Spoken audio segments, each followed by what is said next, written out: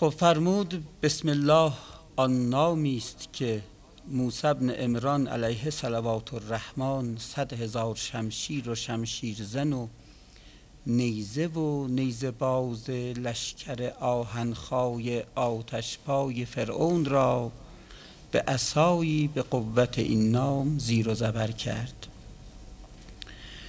خب راجع بسم الله سخن می‌گوید و این رو تطبیق می‌کند با تاریخ انبیای ازام و مسائل خیلی زیبایی رو اونجا مطرح میفرماید. اولین مسئله این است که حضرت ابراهیم با بسم الله الرحمن الرحیم گفتن. و با یک عصا که عصای چوبین که در برابر آن گرزها و در برابر آن شمشیرها و نیزه ها کاری از او بر نمی آید فرمود که با بسم الله گفتن به واسطه عصایی که در دست او بود توانست که صدها هزار لشکر عظیم فرعون رو منکوب کند و سرکوب کند و از بین ببرد. یعنی به واسطه یک اسم مقدس توانست که آن لشکر بسیار پیروز و بسیار عظیم فرعونیان که در طول تاریخ هم این معلوم است و گفته شده است که یکی از بزرگترین قوای نظامی که در جهان وجود داشته است زمان فرعون ها بوده است با استفاده از برده های فراوان سپاه بسیار عظیمی داشتند که هیچ دشمنی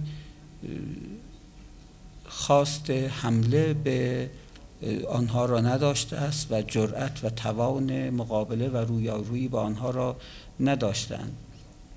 از این جهت بسیار لشکر قوی بوده است اما مولانا میفرماید که وقتی که او بسم الله گفت خداوند با یک عصای چوبین با یک عصای عادی و معمولی تمامی آن لشکر فرعون رو از بین برد. بسم الله آن نامی است که موسی بن عمران دوازده شاه راه خشک از بحر گذشتن بنی اسرائیل پیدا کرد در دریا و گرد از دریا برآورد.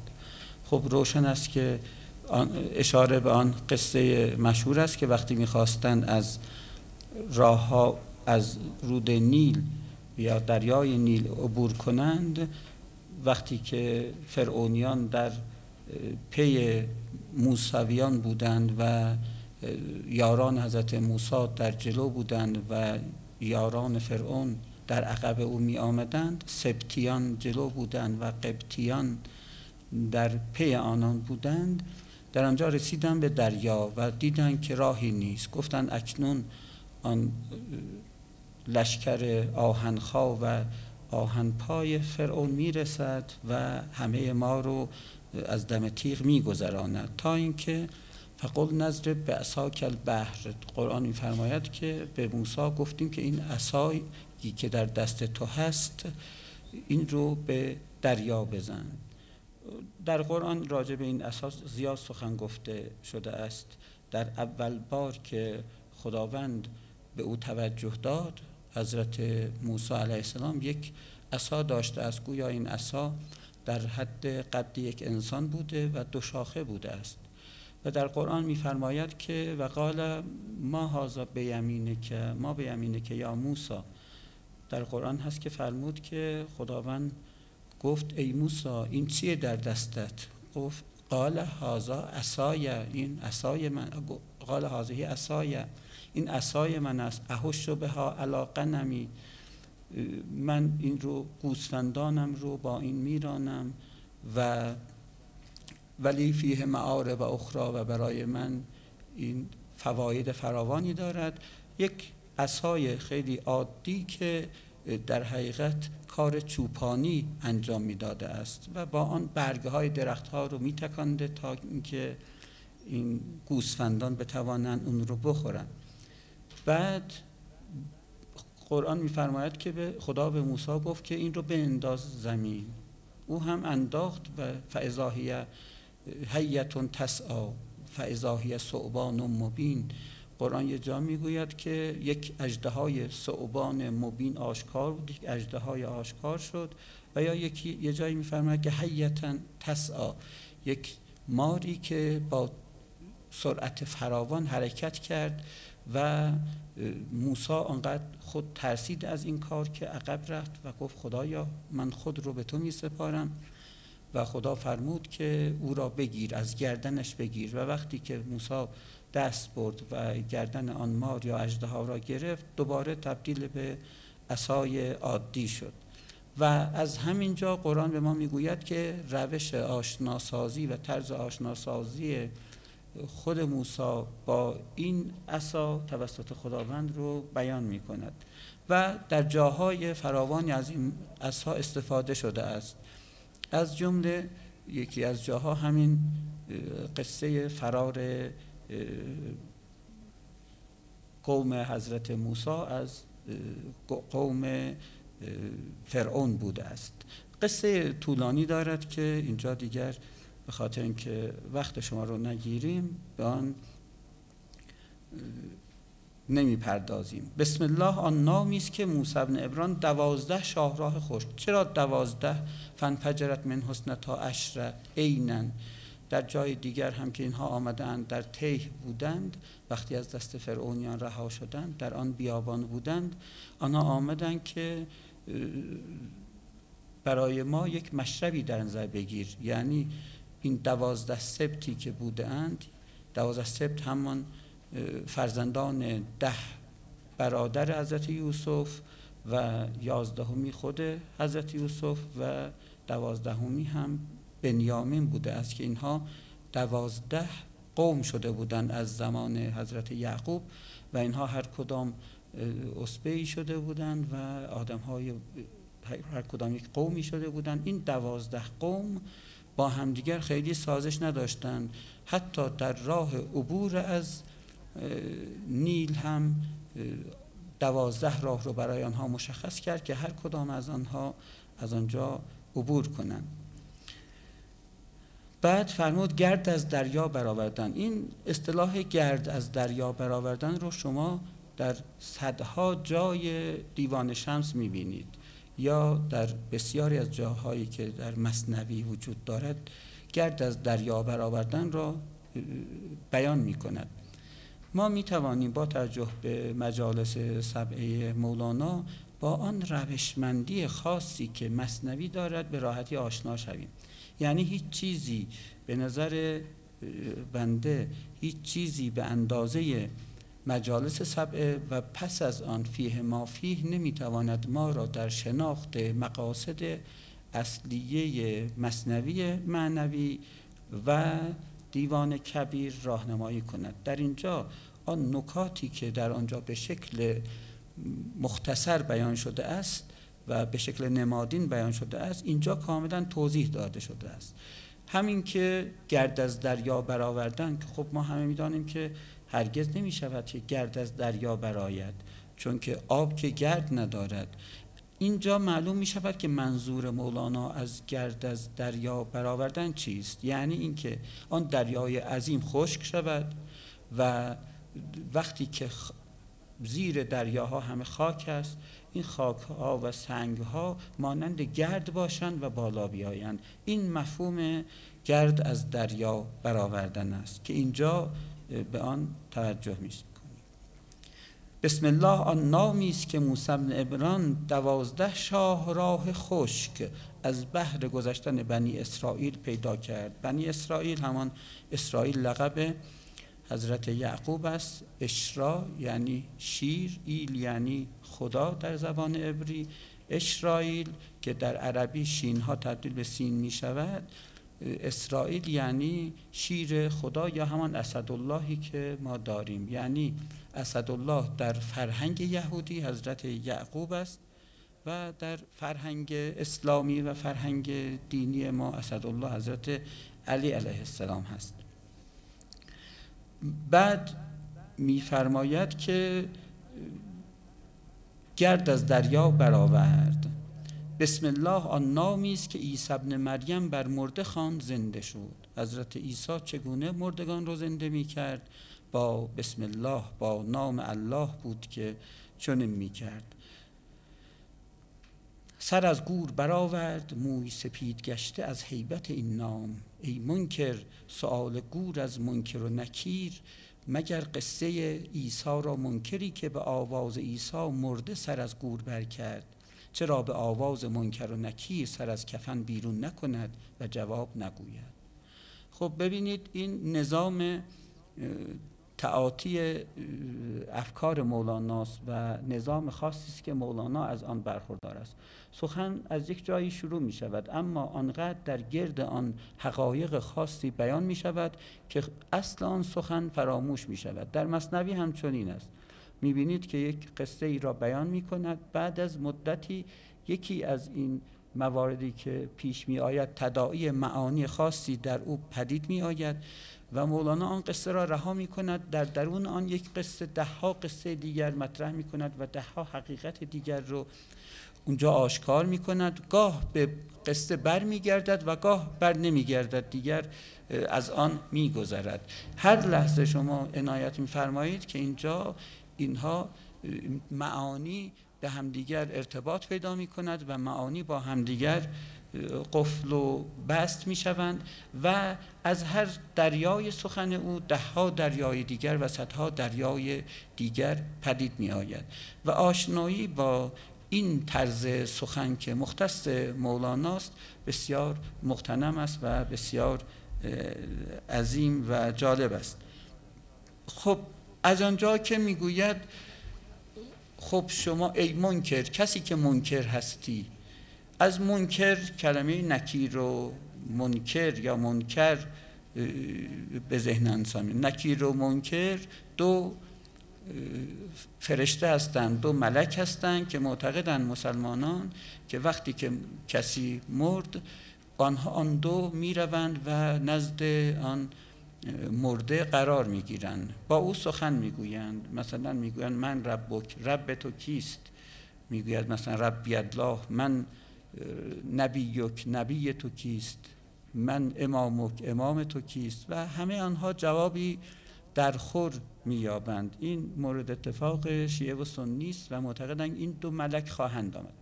اما مولانا می‌گوید کسانی که منکر اینن و می‌گویند اینها خرافات است و چون این چیزی نمی شود کسی که مرده است چگونه به ندای نکیر و منکر جواب دهد و اساسا چون این چیزی ممکن نیست؟ در اینجا می‌گوید چگونه هست که یک مرده ای با سخن بسم اللهی که می‌گوید به سخن حضرت عیسی زنده می شود و آیا به سخن دو فرشته مقرب خدا این اتفاق نیفتاد این البته اتفاق خواهد افتاد و هیچ مورد و مشکلی هم وجود نخواهد داشت.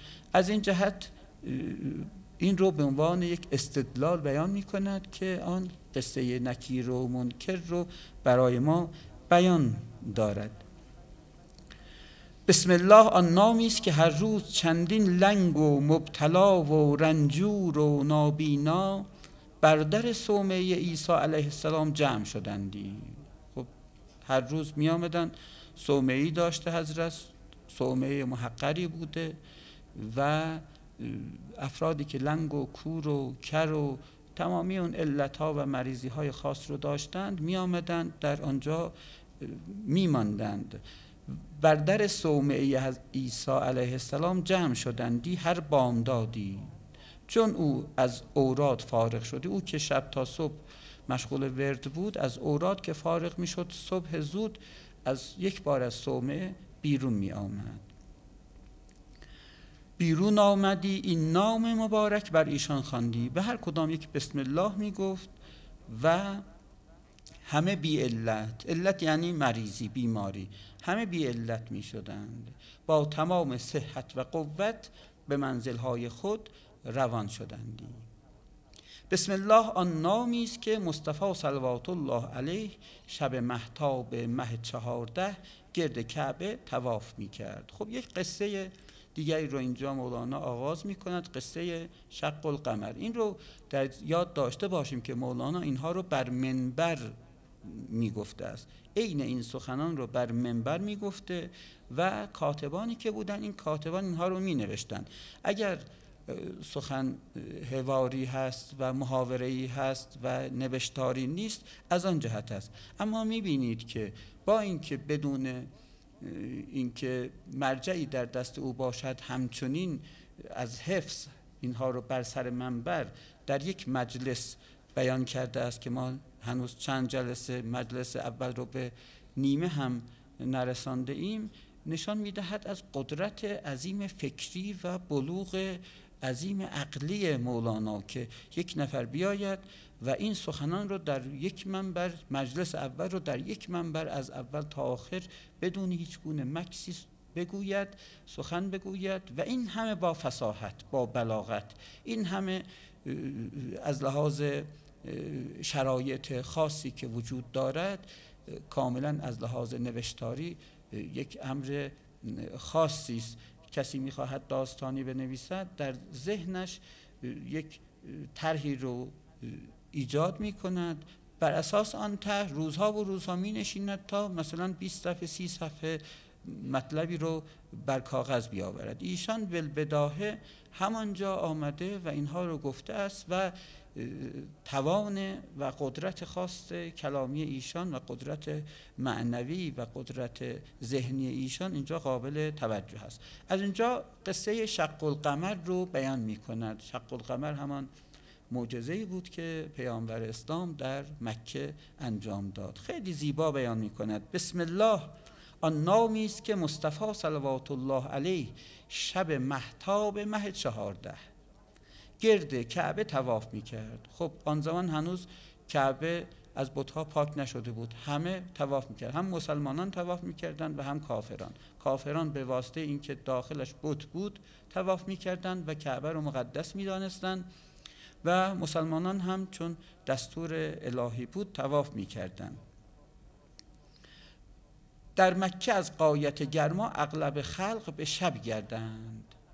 خب چون اونجا روزها خیلی گرمه غالب مردم شبها به خصوص شب لیالی مقمره شبهایی که محتابی باشد اونجا مردم تا صبح معمولا بیرونند و دیگر آن گرمای خاصی که باشد نیست و از آن بهره می جویند ابو جهل او را دید خشم کرد و حسدش بجوشید. خب روشن اینها. از جوش کف کرد و گفت خدا داند که این ساهر باز در چه مکر است. گفت که این ساهر این پیغمبر این محمد باز هم می‌خواهد چه سحری سرپا کند و چه مکری بر ما بیاویزد. مصطفی صلوات الله علیه جوابش گفت از راه شفقت. پیامبر با هیچ کس بدی نکرده است و به سختی و خشونت سخن نگفته است و مولانا هم به این اشاره می کند آنان که پیغمبر رو سخت سخن و خشمگین معرفی کردند غالبا از کسان هستند بخصوص از یهودیانی هستند که این تهمت ها رو بر رسول بستند وگرنه رسول جزو مهربان ترین خلق بود. حتی با کفار هم با نرمی و شفقت رفتار می کرده است. نه اینکه حالا بعضی ها این آیه رو اینجور می‌گوین که اشدا علی الکفار رحما و بینهم یعنی بین خودشان رحیمند مهربانند با کافران به شدت رفتار می‌کنند. نه اتفاقا آن کافران که هستند کافران حربی هستند که با شدت مجبوریم با آنها برخورد کنیم. کافران حربی چه کسانی هستند؟ شاید یک صدم کافران باشند که آنها اعتقاد ندارند و اینها شمشیر به دست می‌گیرند و علیه مسلمانان اقدام می‌کنند.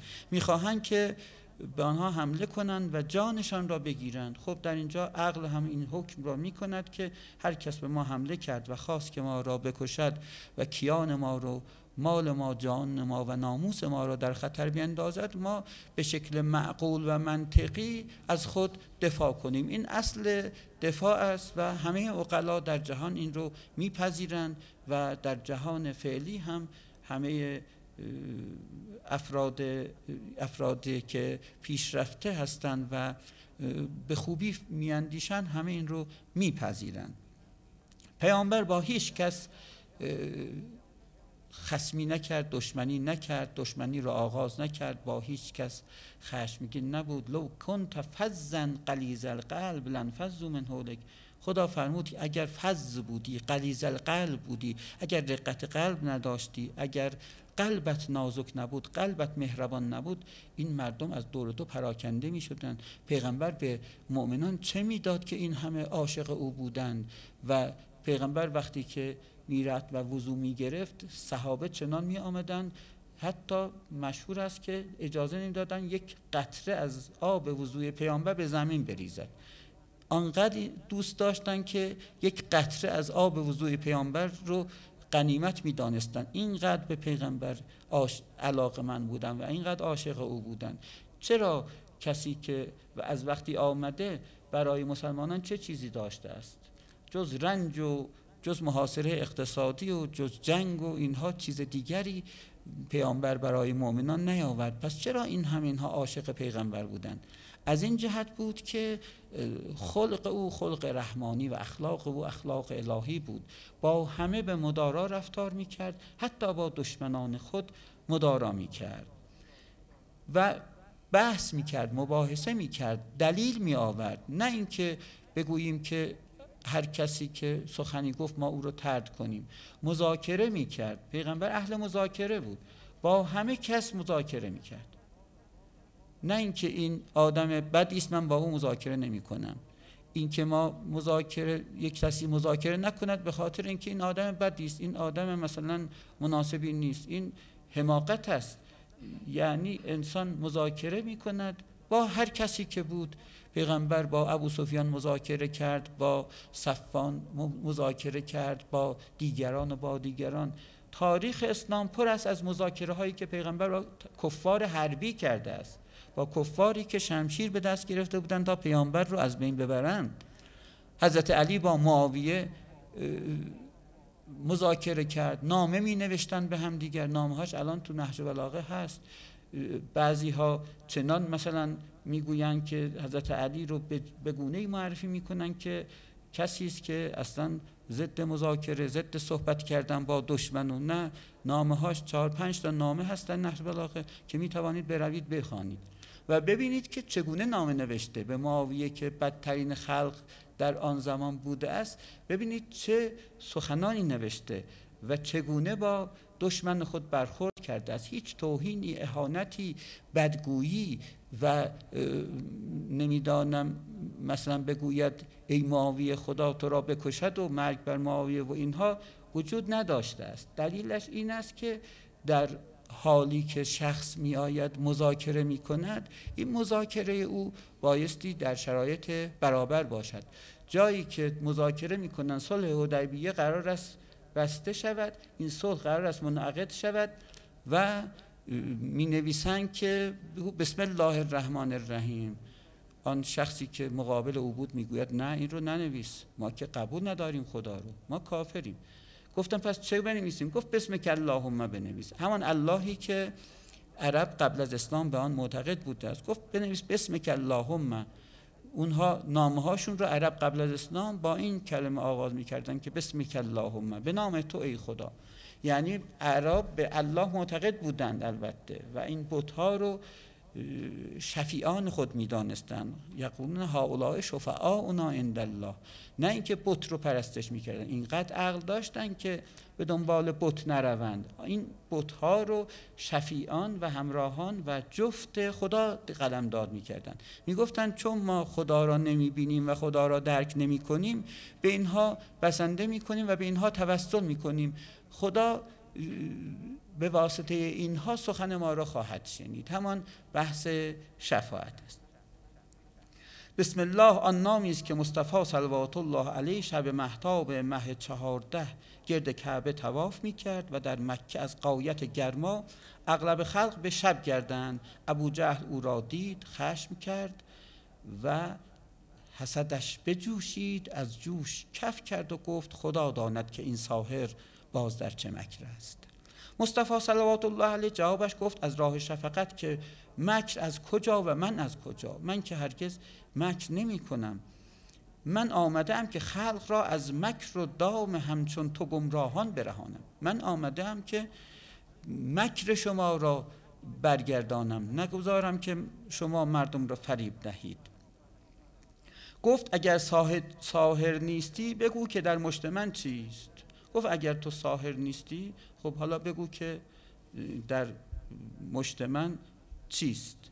و او در مشت قاصد سنگریزه ها برگرفته بود. چند تا سنگریزه رو قبلا تو دستش گرفته بود.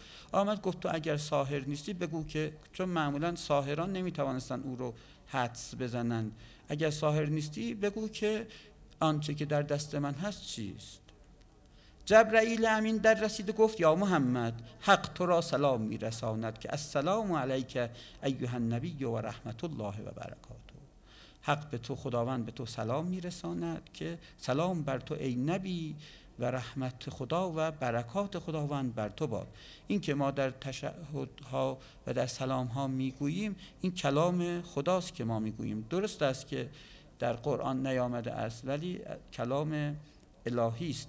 و می‌گوید که هیچ میندیش اگر تو را نام ساهر کنند. بگذار هرچه به تو می‌گویند بگویند. ما تو را نام های نیکو نهاده ایم محمد و مصطفی و این همه احمد و این همه اسامی زیبا. بعضی به خلقان گفته ایم و بعضی را که خلقان طاقت فهم آن ندارند با ایشان نگفته ایم سخن عجیبی است. میفرماید که ما بعضی از اسامی رسول را گفته ایم به مردم در قرآن در روایات در جاهای دیگر گفته ایم اما برخی را نگفته ایم چرا اگر بگوییم مردم تحمل و طاقت آن را ندارند و ممکن است که محمد را به خدایی برگیرند. همچنان که در مورد حضرت علی چون این اتفاقی افتاده است و در مورد او خداوند همه اسماء او را بیان نکرده است. اگر بیان می‌کرد مردم در شبهه خدایی و خداییت می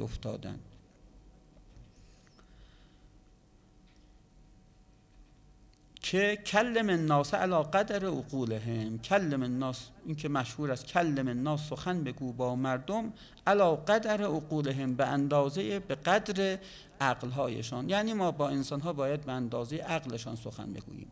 هر سخن جایی یا هر نکته مکانی دارد. انسان نباید هر سخن حق رو هم حتی به همه بگوی بگوید و میبایست که توجه داشته باشد که هر سخن رو باید به اهلش گفت. حتی عرفا گفتند اگر سخن عشق رو و سخن حضرت معشوق رو به غیر بگویی آن گناه بزرگ و نابخشودن نیست. حتی فیلسوفان ما گفتند که فلسفه و حکمت رو در اختیار عوام مردم و در اختیار عموم مردم قرار ندهید چرا که فلسفه و حکمت برای خواست است و عوام ممکن است آن را درک نکنند. چرا گفتند بعضی سخنان رو به, به عوام نگویید؟ چون عوام درک و فهم کامل رو ندارد ممکن است از آن سوء استفاده بکند و بدفهمی داشته باشد.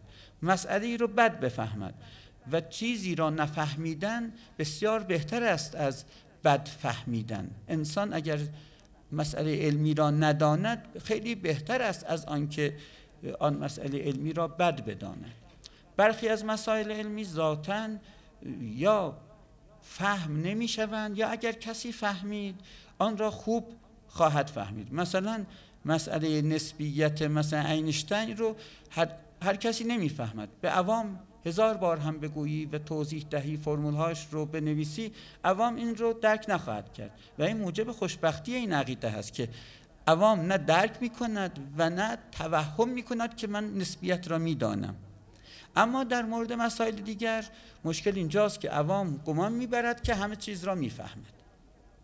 و اتفاقا کسی که علمش از همه بیشتر است از همه بیشتر ادعای از, از علمش از همه کمتر است از همه بیشتر ادعای علم می کند و کسی که علمش از همه بیشتر است از همه کمتر ادعای علم می کند شما می بینید آدم هایی که از هیچ خبر ندارند حتی در یک رشته هم علم و تخصص ندارن راجع به همه چیز سخن می‌گویند. راجع به همه چیز نظر می‌دهند. شما وقتی راجع به دارو باشین صحبت کنید راجع به دارو نظریات بسیار متفاوت. در علم پزشکی ایشان متخصص است. وقتی راجع به ساختمان داری صحبت می‌کنی ایشان مهندس کامل است. وقتی در مورد قرآن صحبت می‌کنی می‌گوید من مفسرم و دیگران نمی‌دانند و من می‌دانم. در مورد هر چیزی که شما سخن بگویید در مورد ادب و ادبیات سخن بگویید می‌گوید که من از همه بهتر می‌دانم. و این نشانه جهل مرکب است. جهل مرکبی که فرد در این حال که نمی‌داند تصور می‌کند که می‌داند. این خصلت عوام است و این خصلت بسیار بد است. باعث می شود که عوام چون فکر می کند که می‌داند فکر می کند که می‌فهمد فکر می کند که عقلش می‌رسد از آن جهت احکامی رو صادر می کند که البته این احکام علمی و حقیقی نیستند. از این جهت گفتن کلم الناس علی قدر عقولهم. با هر کسی باید به اندازه فهمش سخن گفت. مولانا این فرماید چون که با کودک سر و کارت فتاد پس زبان کودکی باید گشاد. یک کسی مثلا می آید با بچه سه چهار ساله مثل فیلسوفان سخن می‌گوید. این البته آدم ابلهی است از آن جهت که نمی‌داند که چه سخن رو باید در کجا و چگونه بیان کند. در مورد افراد و عوام همچنین است. در مورد عوام نبایستی سخنی را گفت که آنها از آن تعبیر بد بکنند و سوء برداشت داشته باشند. او که باشد که تو را نام نهد؟ آن ابو جهل کیست که به تو نام ساهر دهد؟ خاجه را رسد که غلام را نام نهد. خاجه سرور به غلامش نام می‌گذارد. این اشکالی ندارد. غلام ادبار را که از در درآید کی رسد که خاجه را و خاجه زاده را نام نهد؟ ادبار در برابر اقبال هست. قبل یعنی مقابل دوبار یعنی پشت سر. اقبال یعنی خوشبختی کسی که خوشبختی به او روی کرده است. اقبال یعنی رو در رو شدن. ادبار یعنی کسی پشتش رو بکند یعنی از او روی برگرداند. میفرماید غلامی که مدبر است مدبر است و از او روی گردانده است خاجه او کی رسد که خاجه را و خاجه زاده را نام نهد؟ نامی که او نهد هم در گردن او آویزند و به دوزخ فرستند. اینها ترجمه آیات قرآنی است که گفته شده است آنهایی که نام بد می نهند به دیگران گفتن هرگز نام بد ندهید. اگر کسی نام بد به کسی بدهد مثلا می‌گوید او خسیس است او نادان است او مثلا هر چیز دیگری رو به دیگران بگویند و آن صدق نداشته باشد نهایتا این رو این نام رو برگردن خود او میاندازند و در نزد محشریان همه می‌بینند که بله اگر به کسی می‌گفته است مثلا او خسیس است معلوم است این خسیس رو به گردن او میاندازند نامش را و او رو در جهنم بدرقه می‌کنند چرا که تو چرا به آبروی بنده مؤمن ما تاختی؟ این خیلی مهمه. المؤمن اعظم حرمتا من الکعبه. حرمت مؤمن از خانه کعبه بالاتر است. خانه کعبه که عظیمترین حرمت را دارد حرمت مؤمن از او بیشتر است. چگونه هست که شخصی بیاید و دیگران رو متهم کند به هر چیزی. خدای نکرده ما میبایست که زبانمان را و حتی ذهنمان را ممکن است به زبان نیاوریم ولی در ذهنمان بگذارد که این عجب آدم مثلا فلان جوری است اینها گناه بسیار بزرگی است. گناه است که اینها حتی فکرش هم گناه است. بعضی از گناهان وقتی که ما از ذهنمان به بیرون نیامده است تا زمانی که به بیرون نیامده است مشکلی نیست. کسی قصد دارد مثلا دیگر را بکشد ولی تا زمانی که از ذهن او بر نیامده است و به عمل نرسیده است او معاف است. اما برخی از افکار به خصوص در مورد مؤمنین چنین نیست. بسیار بسیار مراقب باشیم که در مورد دیگران چگونه سخن می‌گوییم و چه نسبتهایی به دیگران می‌دهیم. بسیار خطرناک است. هم در گردن او آویزند و به دوزخ فرستند. تو را امتحان می کند که بگو در مشت من چیست. گفت اشکال ندارد. بگذار تو را امتحان کند جوابش بگو که کدام می‌خواهی. به ابو جهل که مشتی ریگ رو در دستش گرفته خورد سنگ رو در دستش گرفته است به او بگو که کدام می‌خواهی. آنکه بگویم که در مشت تو چیست. یا آنکه آنچه در مشت توست بگوید که من کیستم. یا من بگویم در دست تو سنگ ریزه هست یا آن سنگریزه ها بگویند که من کیستم من رسول خدایم. چون مصطفی علیه السلام این نام مبارک را بر زبان راند که بسم الله الرحمن الرحیم جوابش بگفت. ابو جهل گفت نی این قوی تر است که آنچه در مشت من است بگوید که تو کیستی. این بهتره تا اینکه تو بگی. دیگه مطمئن میشم که تو دیگر ساهر نیستی. چون ممکن است خیلی کسی ساهر باشد بداند که در مشت بسته چه چیزی هست. اما اینکه دیگر او بگوید این دیگر کار ساهر نیست. به نام پاک خدا هر سنگ پاره به آواز آمد. از میان دست ابو جهل هر کدام از این سنگ پاره ها به صدا در آمد که لا اله الا الله محمد رسول الله که اینها شهادتین رو بر لب جاری کردن. یسبح لله ما فی السماوات و ما فی الارض. طایفه ایمان آوردن. مردم که جمع شده بودند در مکه بالای مثلا نزدیک به هزار, هزار نفر بودند هم یک عده‌ای با این سخن دیدن این قصه رو ایمان آوردن. ابو جهل از غایت خشم سنگریزه ها بر زمین زد و سخت پشیمان شد به گفتن. از گفته خودش پشیمان شد که چرا چون این کردم؟ این گواهی داد و این همه آدم ایمان آوردن. من می‌خواستم او را مفتزه کنم که خودم مفتزه شدم. و گفت دیدی که چه کردم من به دست خیش؟ باز خیشتن را بگرفت. باز هم خودش رو نباخت و دوباره برگشت و به ستیزه گفت که به لات و عزا که این هم جادویی است. به لات و عزا قسم که این جادو جادوست و جادو کردی بعضی از یاران ابو جهل گفتندش که جادوی در زمین رود و بر آسمان اثر نکند. یارانش آمدن گفتن بعد جادو در زمین کارگر است در زمین اتفاق میفته از سحر و جادو.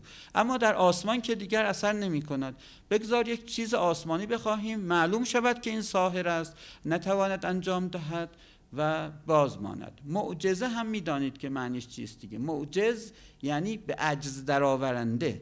معجزت یعنی یک به عجز درآورنده. یعنی آن نافیان حکم قضا و قدر و کسانی که قبول نمی کنند رسالت حضرت رسول رو اینها به اعجاز دیگران رو به عجز در می آورند کاری می کند که می گوید اگر من خدا هستم من از طرف خدا هستم و از طرف خدا آمدم و رسول هستم من این کار رو انجام میدم اگر می توانید شما هم چون این کاری رو انجام بدهید. وقتی که آنها عاجز شدن از آوردن چنین کاری این البته ثابت خواهد شد. بیا تا او را بدین امتحان کنیم. بیا او رو از آسمان امتحان کنیم. آمدن و گفتند که اگر این این چه می‌کنی سحر نیست و حق است و از خداست این ماه شب چهارده را بشکاف که سحر در آسمان اثر نکند. نگاه کردن دیدن که ما هم به مکه نزدیک بوده در آن زمان در قسمتی بوده. همه جا روشن کرده و گفتن نگاه کردن ماه رو دیدن. گفت خب اگر ساحر نیستی این رو بشکاف. این رو بدونیم کن این ماه رو که در بالاست.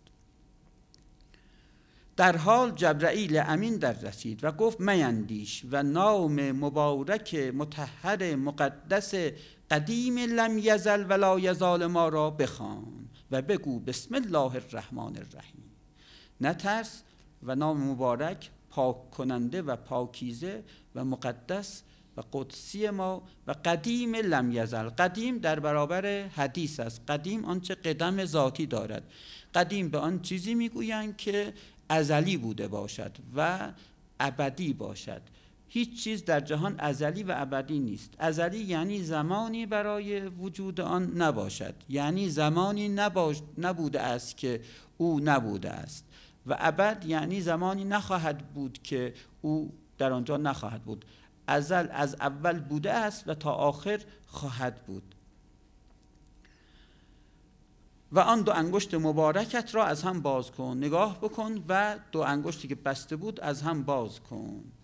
تا قدرت ما را ببینند. چنان کرد. در حال مه دو پاره شد. بلا فاصله ماه به دو پاره شد. بعضی می‌گویند یکی به شرق رفت و یکی به غرب رفت. نیمی سوی انگشت راست پیامبر می‌رفت و نیمی سوی انگشت چپش می‌رفت که اقتربت ساعت و انشق قمر که قرآن فرمود که اقتربت ساعت قیامت نزدیک شد و انشق القمر و قمر از همدیگر منشق شد و دو پاره شد. حال ممکن است ادعی بگویند آیا از نظر علمی چون این چیزی ممکن است یا ممکن نیست؟ اینها رو میبایست که بررسی کنیم چون ما سه گونه نظام علی و معلولی در جهان داریم. قبلا این رو توضیح دادم. یک بار دیگر خلاصه عرض می‌کنم.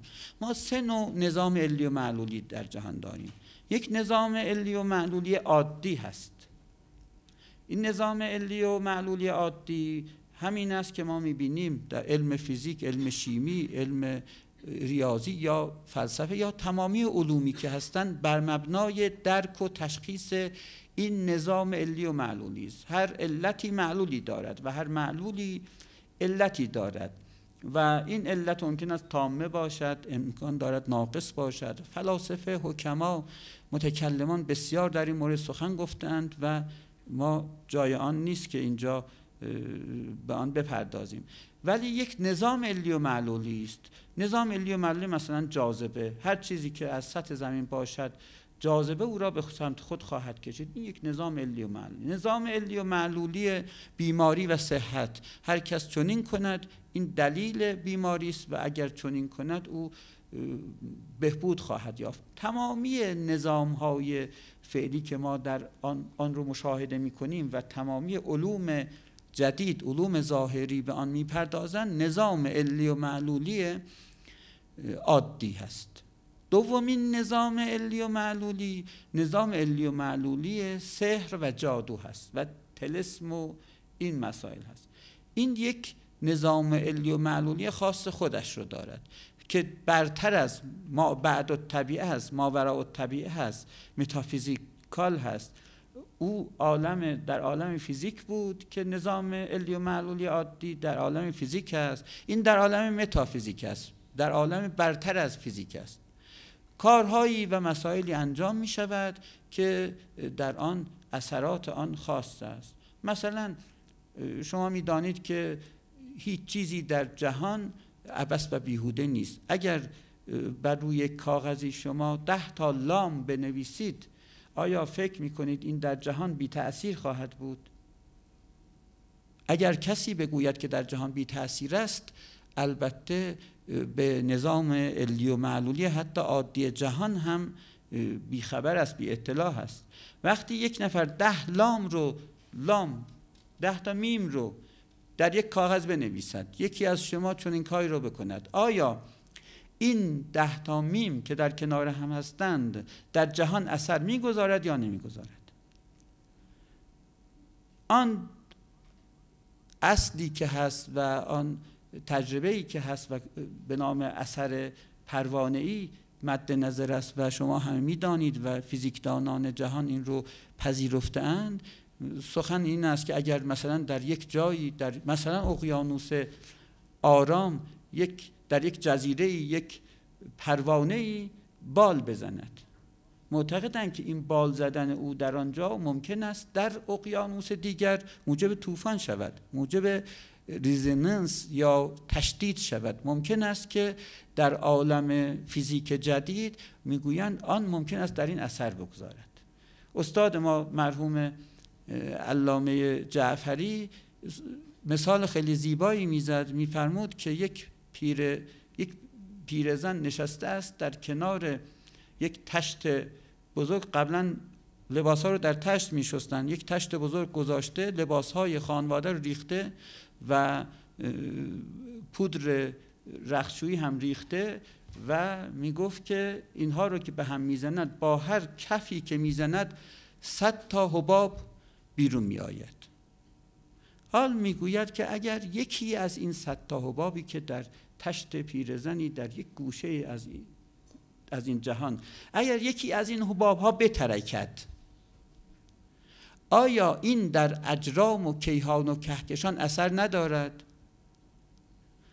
گفتن که اثر دارد. اگر کسی بگوید که ترکیدن یک حباب در آن تشت در کائنات اثر ندارد او البته هم از فیزیک جدید و هم از مسائل عقلی دور است. و کسی نمیپذیرد که بگوییم همه چیز در عالم تاثیر دارد. یک انگشت بالا کردن در جهان تاثیر دارد. به خاطر همین است که گفتند مراقب حرکات خودتان باشید. یک کلام یک سخن یک سخن بیجا در جهان اثر می‌گذارد. اینجا ما سخن از نیکی بگوییم اثر می‌گذارد. سخن از بدی بگوییم در همه ما اثر می‌گذارد. نه تنها در همه طبقاتی که اینجا هستن اثر خواهد گذاشت. منتها اثرش آنقدر کم است و آنقدر دور از ذهن است که معمولا ما این رو در حساب نمی آوریم از این جهت است گفتن که مراقب باش چه سخنی بر زبان می آوری مراقب باش چه حرکتی می‌کنی. کوچکترین حرکت ما در جهان اثر می‌گذارد. و بعضا که می‌بینید ما غمگین هستیم بدون اینکه علتش را بدانیم ناراحتیم. همین اثر هاست همین اثرهای وضعی است که کارها و اعمال و رفتار ما در ما قرار داده است در کالبد ما قرار داده است و ما یک دفعه غمگین میشیم یک دفعه ناراحت میشیم بدون اینکه دلیلش را بدانیم. یک دفعه دل ما می‌گیرد بدون اینکه بدانیم. آن نتیجه آن گناهان و نتیجه آن کارهای اشتباهی است و حرکات و افعال و گفتار اشتباهی است که قبلا انجام داده ایم یا بر روی ما انجام یافته است. از این جهت بسیار مهم است. چند تا کلمه رو یک نفر بنویسد البته در کائنات اثر دارد. بداند که البته چه چیز است. اثر ذکر هم همین است. ذکرهایی که گفتن مثلا تسبیحات اربعه رو. گفتن 33 تا 33 تا 34 تا. اینها همه کد هستن رمزی هست برای اینکه ما به بعضی از حقایق پی ببریم. در مورد انسان هم چنین است. انسان به برخی از این دانش ها دست یافته است و غالب این دانش ها هم از زمان بنی اسرائیل بوده است. این دانش ها رو یافته است و می تواند با ترسیم یک سری اشکال حتی مثلا یک کارهای انجام دهد بعضی نوشته ها رو در کنار هم قرار دهد و اینها تولید یک حالت تولید یک انرژی تولید یک قدرت بکنن. و همین در حقیقت خمیرمایه اصلی سحر و جادو و این هاست پس نظام علی و معلولی بعدی که وجود داره نظام سحر و جادو هست. این نظام سحر و جادو هم برای خود علتی دارد و معلولی دارد. اگر ما درک نمی کنیم به خاطر این است که علت و معلول های ساهرانه رو ما نمی‌شناسیم. اگر کسی این علت و معلول ها را بداند می‌داند که اگر ده تا میم بنویسد با اینکه 33 تا لام بنویسد با این خیلی متفاوت است. و هر کدام اثرات خاص دیگری خواهد داشت. و همین موضوع سحر و جادو هست. یک نظام علی و معلولی برتر از اینها هست که آن نظام علی و معلولی اعجاز و معجزه هست. نظام علی و معلولی معجزه هم خود یک نظامی دارد. این چنین نیست که پیغمبر هر چه خواهد انجام داد. خود آن علت و معلول دارد. اینجا علت شکافته شدن علت ظاهری شکافته شدن ماه چیست؟ اینکه پیغمبر دو انگشت مبارک را از هم جدا می‌کنه. این علت می شود برای آن. از لحاظ عادی از لحاظ حتی نظام علی و معلولی عادی از نظر نظام علی و معلولی سحر و جادو این ممکن نیست. ولی در دستگاه علیت و معلولیت معجزه این امکان پذیر است و امکان پذیر شده است. چگونه ممکن است یک اسایی تبدیل به اجده شود؟ این در نظام علی و معلولی عادی اصلا مفهومی ندارد. در نظام علی و معلولی مادی و عادی ممکن است که یک چوبی بعد از مدت ها تجزیه شود و نهایتا یک مار مثلا بیاید قسمتی از آن رو تبدیل به یک موجودی شود به یک نباتی شود یک حیوانی از او بخورد ماری بیاید از او بخورد و کم کم مثلا بعد از هزاران سال مثلا ببینیم که نهایتا موادی که این اسا داشته است تبدیل به همان مواد دست دیگه همان مواد عالی هست که وجود دارد انظر شیمی همان مواد عالی هست. و از این جهت می تواند که تبدیل به آن شود. منتها ممکن است مثلا علا فرض این که طبق نظام علی و معلولی عادی چنین اتفاق بیفته هزاران هزار سال طول می‌کشد تا چنین شود. یا در آزمایشگاه هزاران سال یا شاید صدها سال وقت لازم است که ما چنین کاری رو چنین فرایند رو انجام دهیم. اما نظام علی و معلولی معجزه این رو خیلی سریعتر انجام می‌دهد. دیگر نیازی نیست که ما در آزمایشگاه این مواد خاص او رو که هست او رو برداریم و مثلا فیبرهای او رو تبدیل کنیم چون از همان مواد هستند و دوباره از آن یک مار بسازیم. این از لحاظ علم امروز ممکن هست. اما در نظام علی و معلولی اعجاز این مسئله خیلی سریع اتفاق میافتد. یا همین که مثلا دریا را شکافتن. علم جدید می‌تواند چون این کار را انجام دهد. با وسایلی که وجود دارد می‌تواند که به قول معروف گرد از دریا برآورد. اکنون کارهای شگفتانگیزی بشر می‌تواند انجام دهد. ولی این که این خیلی سریع و نامعنوس است این از جهت نظام علی و معلولی معجزه است. رابطه این سه نظام علی و معلولی چیست؟ نظام علی و معلولی معجزه حاکمیت دارد بر نظام علی و معلولی سحر و جادو. و نظام علی و معلولی سحر و جادو حاکمیت دارد بر نظام علی و معلولی عادی. بنابراین یک ساهر می‌تواند کاری کند که نظام علی و معلولی عادی رو به هم بزند. با نظام علی و معلولی که خودش داشته است. و همچنین معجزه هم چنین کاری می کند معجزه هم می تواند نظام علی معلولی او برتر است از نظام علی و معلولی سحر و جادو و می تواند اون رو برهم بزند. خب. اونجا که گفت که حافظم گفت سامری کیست که دست از ید بیزا ببرد؟ همین است. سحر با معجزه پهلو نزند. دل خوش داد سامری کیست که دست از ید بیزا سامری نماد سحر و جادو است. نماد کسی است که نظام علی و معلولی سحر و جادو رو به خوبی درک می کند و او می تواند که کارهای انجام دهد خلاف نظام سحر و خلاف نظام علی و معلولی عادی. اما در برابر نظام علی و معلولی اعجاز او هم ناکام است و مجبور به تسلیم است.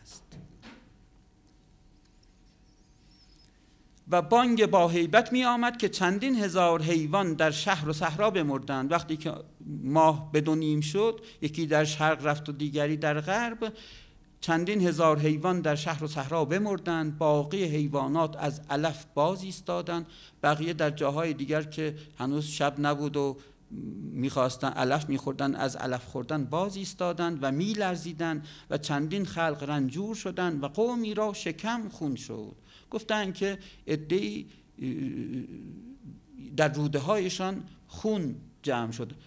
این اکنون دلیل دلایل قانع کننده می‌تواند داشته باشد. چون شما می‌دانید که ماه جاذبه دارد و جاذبه ماه بسیار عظیم است.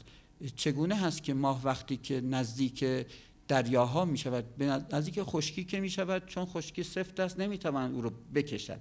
اما وقتی کنار دریا هست جاهای 11 متر 12 متر حتی میلیون ها متر مکعب آب رو بالا می کشد و این قدرت همان ماه رو نشان می‌دهد که قدرت جاذبه ماه که همان جزرومت اثر همان جاذبه هست. وقتی که می‌تواند ماه با نزدیک شدن به انسان این کار رو انجام بدهد از این طرف این بحثی که کردن و بعضی این رو خرافه میپندارن که قمر در اقرب و اینهایی که هست اینها غلط هست و اینها خرافه هست و این موارد اینها از نظر علمی قابل اثبات هست خیلی آسان قابل اثبات هست.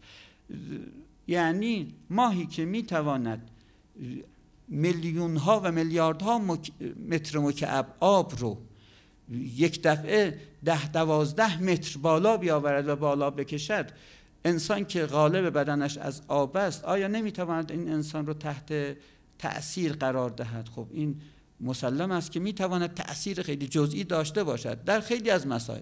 این که در روایت ها گفتند قمر در اقرب و ادعی گفتند که این امامان شیعیان و پیامبر ایشان هم خرافاتی بودند. این چه سخنانی است که گفتند؟ اینها از محاق قضیه و از نظام علی و معلولی خاص جهانی حتی عادی است اینها. از اینها بی اطلاعند خوشبختانه اخیرا با در این پنجاه صد سال اخیر آنقدر علم جدید علم فیزیک علم شیمی علوم دیگر الحمدلله آنقدر پیشرفت کرده است که خیلی از چیزهایی رو که قبلا توسط مذهب بیان می‌شد و دیگران اون رو خرافه می‌دانستند و خرافه میپنداشتند اکنون می‌توانیم راجع به آن خیلی راحت و سریح با دلایل علمی خاص سخن بگیم و علمی بودن اون برای ما مطرح شود.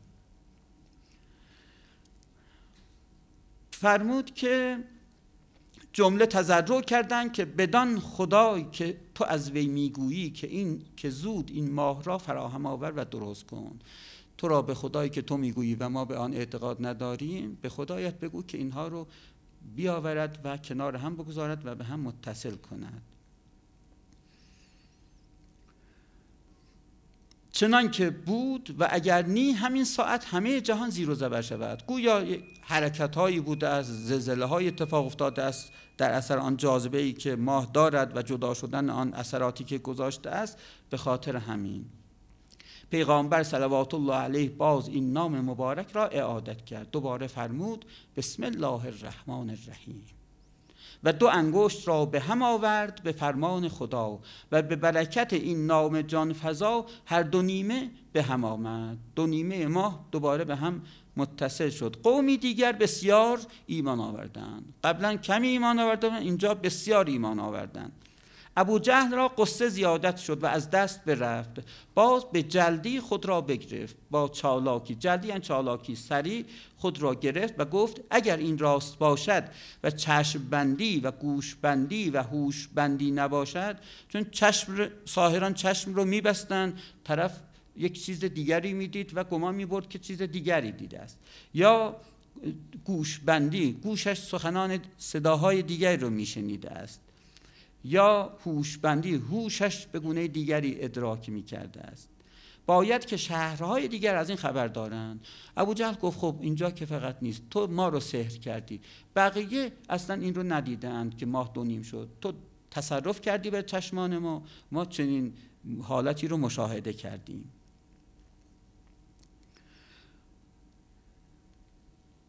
اگر این راست باشد و چشمبندی و گوشبندی و هوشبندی نباشد باید که شهرهای دیگر از این خبر دارند. بعد از آن وفتها و کاروانها و پیکان و نامه ها می رسید پیک ها فرستادن نامه ها به اقصا نقاط آن زمان که میشناختن میرسانند. وفت یعنی گروهی که به رسولی بیایند گروهی که بیایند و خبری رو آورده باشند بهش وفت می‌گویند.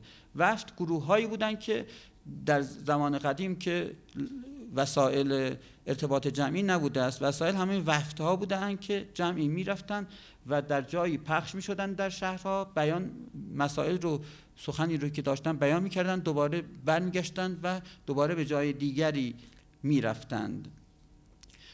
از اطراف عالم تا به اطراف عالم بر دوستان که این چه واقعه بود که ماه آسمان بشکافت. خب مکه ها خیلی دوستان فراوانی داشتن. چرا؟ دوستان بزرگی داشتن. آنان چون تاجر بودن دوستانی در شام داشتن دوستانی در روم قدیم داشتن دوستانی در یمن داشتن. با خیلی از جاهای که در آن زمان متمدن بود اینها ارتباط خاصی داشتن. و این ارتباطات بسیار در کتب تاریخ بیان شده است. گمان نبرید که مثلا در شبه جزیره عرب یک عده مثلا عرب مفلوک بیخبر از جهان در آنجا بودند و جمع شده بودند. نه اتفاقا بسیار هم با اطلاع بودند. جزء با اطلاع ترین مردمان بودند که با یهودیان ارتباط داشتند با مسیحیان با روم با یونان با همه اینها ارتباط داشتند و رفت آمد می‌کردن چون تجارت می‌کردند. و در آن زمان که یونان و روم جزو تمدن‌های بزرگ بود اینها رفته بودن شهرهای اونها رو دیده بودن به ایران آمده بودند اگرچه خیلی تمدن بزرگی نداشته است ولی برخی شهرهای ایران رو دیده بودند و یمن رو که در آن زمان بسیار آباد بوده است اونها رو دیده بودند کسانی نبودند که بیخبر از دنیا باشند. به همه آنها نامه نوشتند که چنین چیزی اتفاق افتاده است یا نه. این چه واقعه بود که ماه آسمان بشکافت که از آن روز که فاطر سماوات این دو شم را در این گنبد افروخته است دو شم یعنی خورشید و ماه رو. فاطر سماوات یعنی به وجود آورنده آسمان ها این هم از معجزات علمی قرآن هست می‌گویند که فاطر فتره یعنی آفرید. منتها چه نوع آفریدنی؟ ما یک خلقه داریم یک فتره داریم. خلقه آفریدن از هیچ است. یعنی بدون هیچ سابقه و سائقه چیزی را آفریدن می شود خلقه. اما فتره آفرینش دیگری است. فتره چیزی قبلا بوده است او می شکافت و از درون آن چیز دیگری برمی آید این مفهوم فتره است. خداوند فرمود فاطر السماوات. عده این رو همون به بیگ بنگ تشبیه کردن. عده از دانشمندان مصری به خصوص که بحث کردند اینها می‌گویند که فاطر السماوات همان بیگ بنگ است. یعنی آسمان ها چگونه به وجود آمد؟ از یک انفجار که فطره یعنی شکافت. افطار یعنی چه؟ یعنی شکافتن روزه. روزه رو کنار نهادن. هر چیزی رو که عید فطر همان است. و همه آن چیزی که به نام فطر و افتار هست و فتره همین است. و فرمود که فاطر السماوات و الارض یعنی در هم شکافنده آسمان ها و زمین. این از هم شکافتگی باعث شده است که یک تولد نوین و همین انفجار بزرگ یا مهبانگ این اتفاق بیفتد و این جهان و این آسمان ها به وجود بیایند. و پرده های ظلمات را به تابش تاب این دو گوهر می سوخته تاب یعنی اشعه که و جعل الشمس ضیاء و القمر نورا. و شمس را زیا قرار داد و قمر را نور قرار داد. این هم از معجزات قرآن است. عرب به نوری که به چیزی که از خود نور بدهد زوزیا می‌گوید و چیزی که نور دیگری را بتاباند زی نور می‌گوید. یعنی زیا مربوط به چیزی است که از خود نور بدهد. خود به خود نورانی باشد. که گفت قرآن گفت و جعل الشمس ضیاء چرا نفرمود جعل الشمس نورن نه شمس چون زیا هست یعنی نورش از خودش هست زو یعنی از چیزی سر می‌زنه که نورش از خود اوست. و جعل شمس زیان و القمر نورن. اما قمر نور است. از تابش آن نور آفتاب از آفتاب است. از تابش و تاب آن آف است. هرگز جنس این واقعی عجیب و غریب نادر از آبا و اجداد ما هیچ کسی حکایت نکرد. به همه جا نوشتن همه جواب دادن که ما تا در عمرمان چون چیزی ندیدیم. و در هیچ کتابی ننوشتند و از اطراف شهرها نامه بر نامه می رسید و ابو جهل و امثال او هر دم سیه روتر می شدند که فاما الذین فی قلوبهم مرض فزادتهم رجسا الی رجسهم. پس اما آیه قرآن است فرماید اما کسانی که در قلبهایشان مرض است فزادتهم زیاد کرد خداوند رجسن الی رجسهم. آنان یک امر پلید داشتند در درون خود. آن امر پلید چه بود؟ عنادی بود که نسبت به حقیقت داشتن اگر عناد نمی داشتن میپذیرفتن مثل خیلی از انسانهای دیگر وقتی این معجزات رو می‌دیدن میپذیرفتن ولی اینها عناد ورزیدن این عناد رجس است پلیدی است.